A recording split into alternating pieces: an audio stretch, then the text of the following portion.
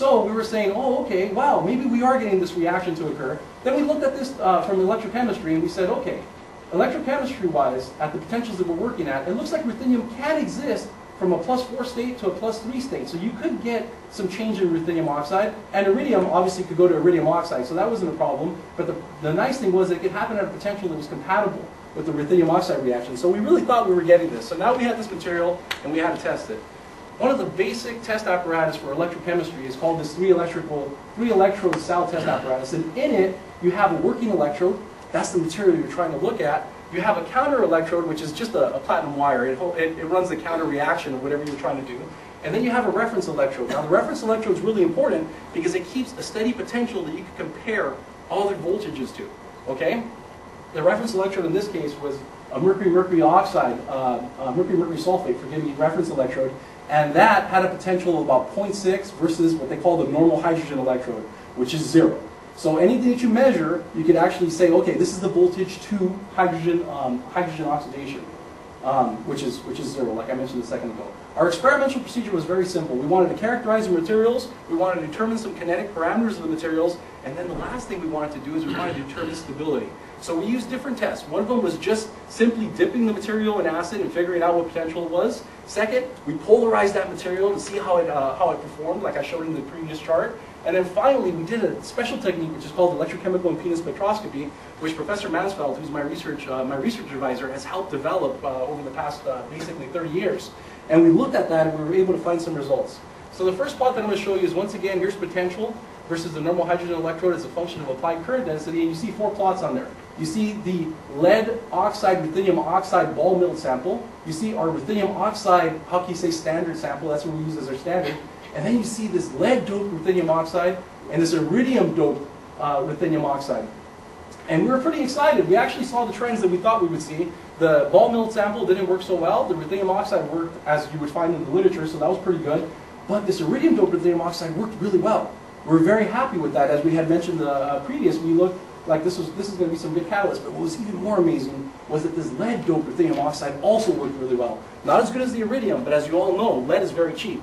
So it's a way that you could actually use this terrestrially. So you could approach this problem in two ways. You could either make it very cheap to purchase, or you can make it super efficient so you don't need such a large system to make it run. The bottom line was this. There's another thing that we want to point out here, and that's the slope of these polarization curves. Not where they start to curve, but basically where, they, where they're linear. And one of the things that we noticed was the ruthenium oxide had the steepest polarization slope. The lead ruthenium oxide was next, iridium doped ruthenium oxide was next, and the lead doped ruthenium oxide was next. And we'll explain this in a second, what this actually means. One of the techniques that we used, and this is what I'm doing most of my PhD work on, is at least trying to understand, is this technique of electrochemical impedance spectroscopy. Now what's really interesting here is that you hold your material, so you're working electrode at a certain potential, and usually this is an oxygen evolution potential, so this is something like 1.4, 1.4 volts or something like this, and you get this frequency response. Now, looking at this data, you kind of say, okay, what is this? You hear, here you have ohms per centimeter squared as a function of frequency, and here you have the uh, phase angle as a function of frequency, and you see a couple of things. The first thing that you see is you see that you actually get two time constants in your material. Now this is really rare, because in these catalysts you should only get one time constant, so we were kind of scratching our heads about that.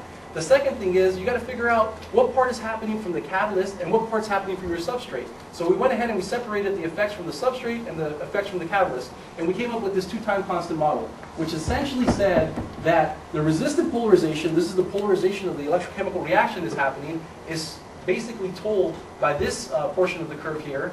Your resistance polarization of your substrate is actually told by this, by this section. Your resistance of your solution is told by this section.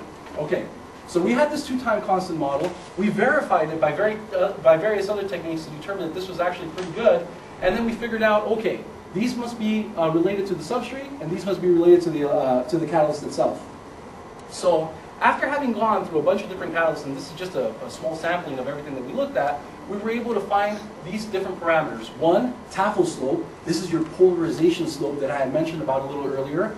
The shallower that slope, the better your catalyst is going to go, right? Because it's moving slower and slower as you're pulling more and more current from the system, or pushing more current in in this case.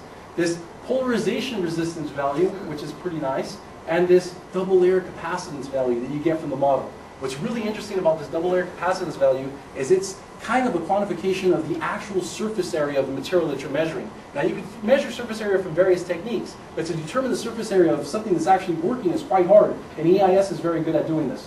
The bottom line is, the lower your resistance polarization, the higher your double layer capacitance, the better the catalyst you're going to have. And once again, through all our processing, we showed that the iridium, in somewhere around the 12% concentration range, was pretty much the best material. And second was our lead. And also, as you can see, around the 7.5% concentration range was pretty much good. And as we knew before, the uh, uh, lead oxide, ruthenium oxide ball mill stuff, well, it wasn't very good at all. And you saw that actually in the plots. But what's really interesting here is if we look at this slope, and this is pretty consistent over several runs, the ruthenium oxide catalyst registered around a 70 millivolt per decade slope, and this is in that kinetic region that we were talking about. But as soon as you add a little lead, it actually brings that value down, which was quite interesting. And the other thing that we want to show is your iridium actually brought it down to the 50s, but your lead, if we did it through this technique, brought it all the way down to the 40s. Remember, you want to get that value as low as you possibly can.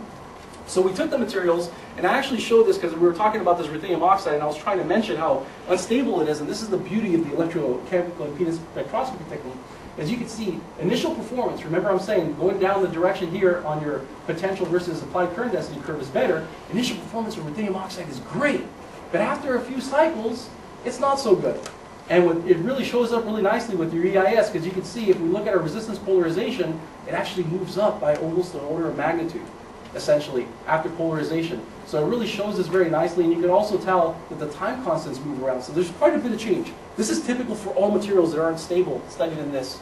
Now also, what's interesting, if you look at materials that are stable, and here you have initial performance and final performance, pretty much right on top of each other as far as reproducibility goes, you can also see that in your electrochemical impedance spectroscopy. So this tool was really good at determining stuff like stability, and also really good at determining stuff like performance. So we were very excited we were able to develop this for this particular catalyst.